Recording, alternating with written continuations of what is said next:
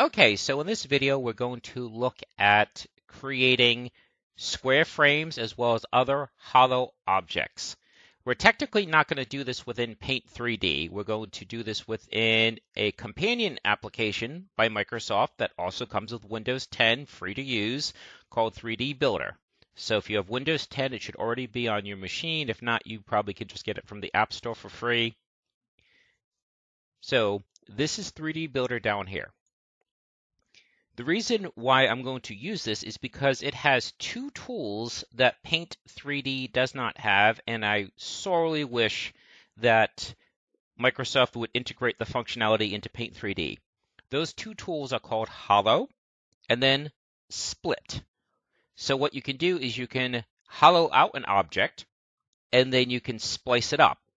And by splicing it, like say you take a cube, if you hollow out the inside and then you splice one side and the other, what remains? A frame.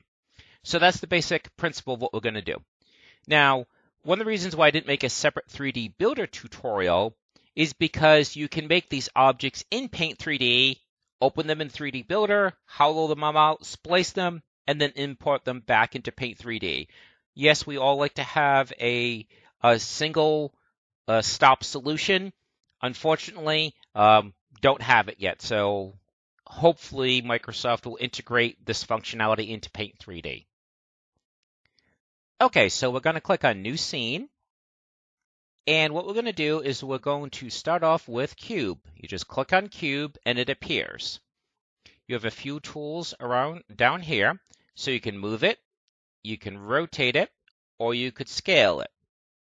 We really don't need to do any of those since it's symmetrical. So the tools that we're going to look at are in Edit.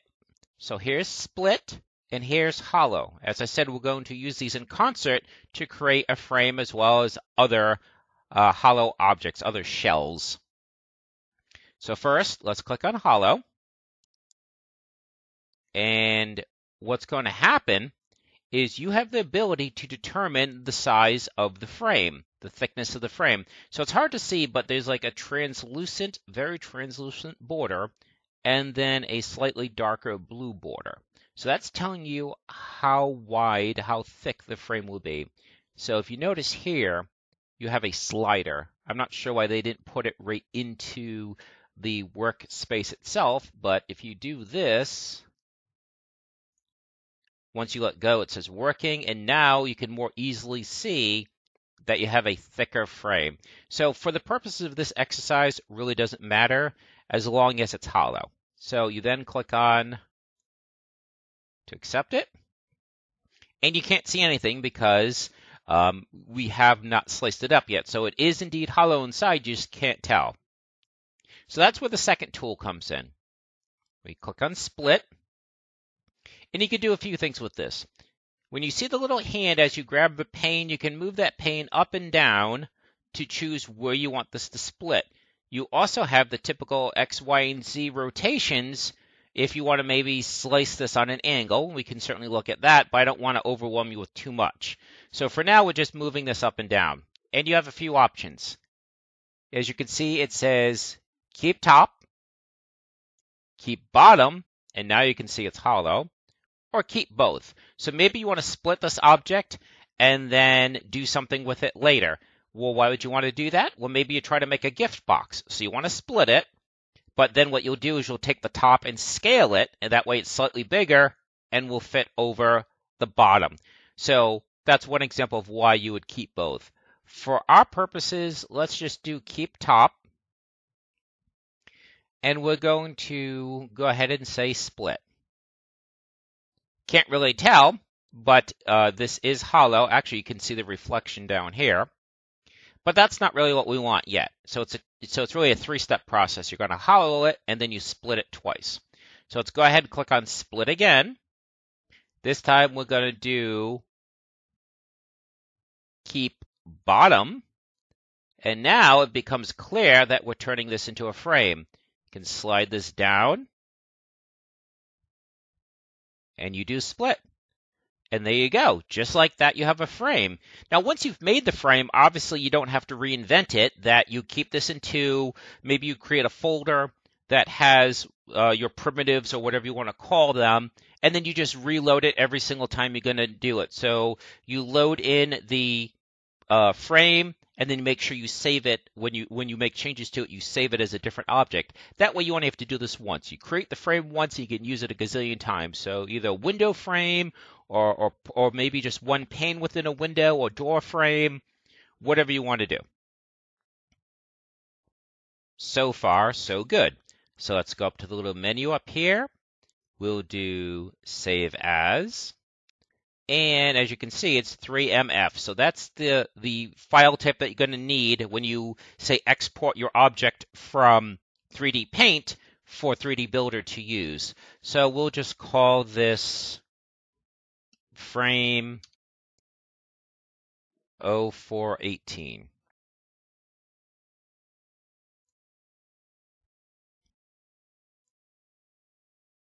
And now let's go to Paint 3D.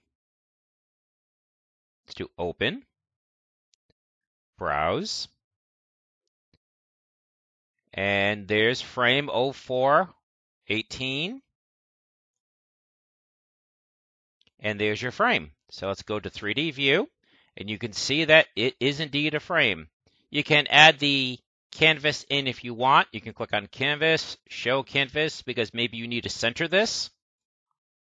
The controls are the same as I've mentioned in the other video. Once you're in 3D view, if you right click, you can pivot around. So you could say move this so it's centered or whatever. So just like that, you have a frame. Okay. So let's go ahead and delete that. Now we're back in 3D Builder. And we'll delete this. So next one we'll go and do go back to Insert. And this time we're going to use a sphere. Now, Paint 3D comes with a sphere and a hemisphere, but what I'd really like to see is like a hollow hemisphere. So like for a mug or a basin or something like that. Anything that you need to be hollow. A half pipe, whatever. Lots of examples. So we're going to do the same thing. We're going to go to Edit. We're going to go to Hollow. And this time it's more evident because you can definitely see the blue in there. I think it might have remembered my setting. Probably is because it's it's not the same. It's it is the same project, so my guess is it just remembered my setting. But that's a little bit thick. So in this case, we want it to be a little bit thinner. And then we click on hollow. And again, you can't tell that anything's been done until you splice it. So let's go ahead and go to split. And now it is more evident that it is hollow. Uh, maybe you want, say, both because maybe um, it's going to be like an egg that opens or a coconut or something like that. And since it's symmetrical, really doesn't matter if you do keep top or uh, bottom, because you can always just rotate it. So in this case, if you're not splicing it a second time, then um, it's it, it's not. Uh, if you're not splicing it a second time, then it really doesn't matter which you keep. All right, so let's do split, and there you go. And just like that, you now have. By the way, I'm I'm right clicking to move around. And unfortunately, navigation is not the same between the two applications. Whereas right click does a pivot, in this one it's more of a transform. I believe left click, yeah, left click is the pivot. So again, typical Microsoft, for some reason, uh, the way you navigate one program is not the same way you navigate another. But again, I'm not a MS hater. If I was, I would not be doing these uh, these tutorials. So as you can see, just like that, you have a basin. And so now you've added yet another shape that is not by default in Paint 3D. So we'll go here. Make sure you choose Save As, not Save, because you'll just wipe out your frame. And we'll call this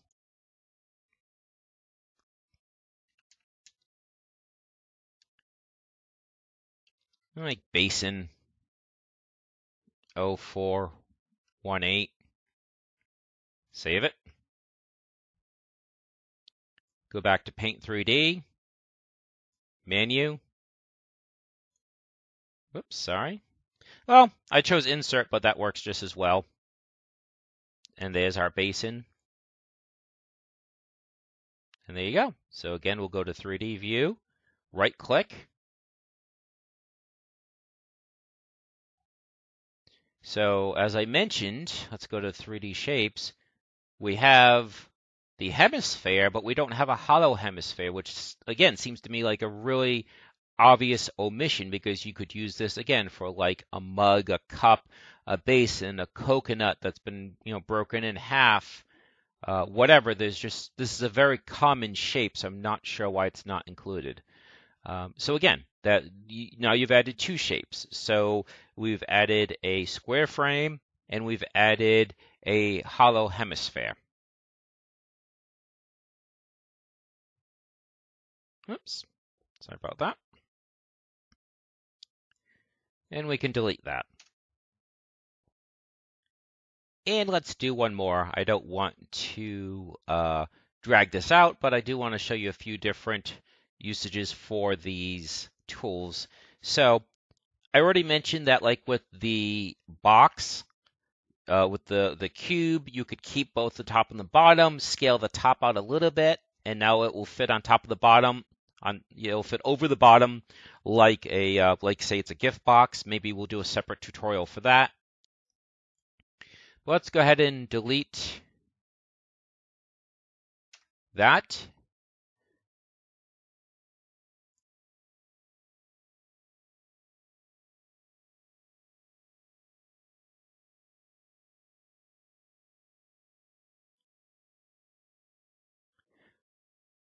Let's do wedge.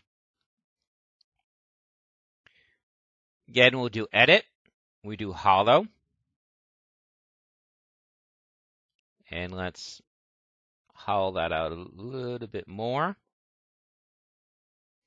Do OK for hollow. Do split. Now in this case, we need to rotate the tool. So that's another reason why I wanted to do one more because we, we're just moving the tool up and down. In this case, we actually want to rot rotate the tool. Technically, you could have rotated the object. So if we rotate it like this, and it does kind of snap into place, left click to pivot in this, and it becomes clear what we're doing, and that is we're going to make a hollow triangle. I suppose triangle technically isn't correct since it's a 3D object. Okay, so we do split. But now we want to take the other one out as well. Again, got to rotate. Let's pivot All right, so I want to rotate this way. So grab the arrow, snap it into place, and you grab it, and then we want to keep top. Oops.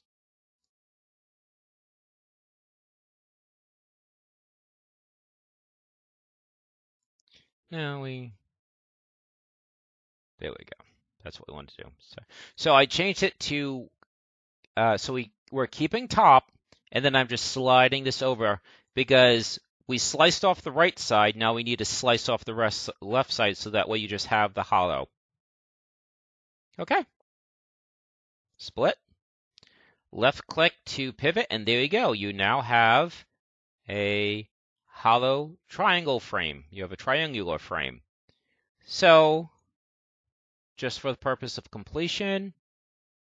Save as.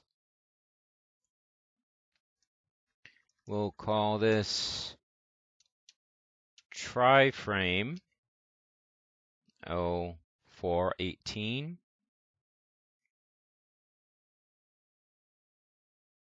Go back to 3D Paint, Menu, and we'll just do Insert again tri-frame And there it is. So 3D view, in this case, right click to pivot rather than left. And now you have a triangle frame. So again, I, I think that these are really obvious shapes that should be here in the 3D shape tool. They're not. All we can do is post comments and say, please add them. I don't know how actively this is being developed. I know this is at very least the second iteration because the first iteration did not have quite as many of these. I think the first only had six objects and they added four more. Uh, there was also not a 3D view. So I believe they are still actively developing it. So if they can just uh, beef up the 3D objects and give us a taper tool, I think this would be a really great contender for at very least making your own placeholder graphics, or if you're working on a kind of stylized game like a Minecraft type of game, or My Time in Portia or something like that, where the graphics are not really meant to be high end; they're meant to be kind of blocky and cutesy. Um, I, I, think that this, if they can get just a few more features, would be a, uh, uh, a good one-stop solution for making a lot of objects.